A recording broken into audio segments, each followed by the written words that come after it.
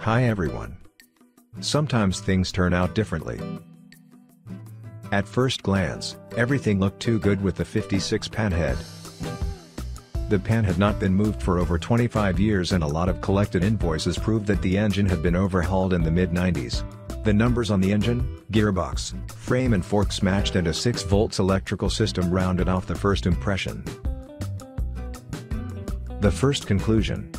A panhead is not pretty in many places but still very original, so you can't go far wrong when buying one. The plan. Get it up and running, spruce it up here and there, screw it together properly and you're done. But far from it, because the further the bike was dismantled, the more amazing patches came to light.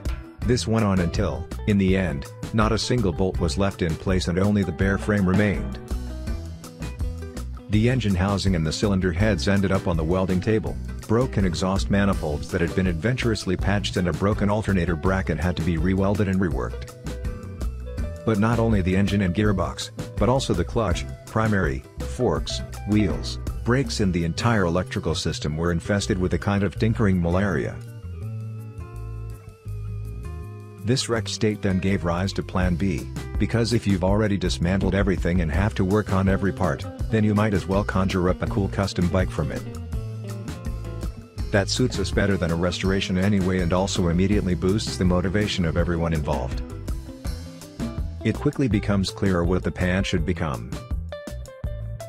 A reduced bobber in the hot rod style of the 60s, with a short rear fender, manual gearbox and, of course, flames. As far as possible, everything was to be finished with contemporary surfaces. So lots of black and hardly any chrome combined with polished aluminium and parkerized surfaces on add-on parts and screws. Then give the tank and fender an old school paint job and you have a really hot pan that looks like it was never intended for anything else.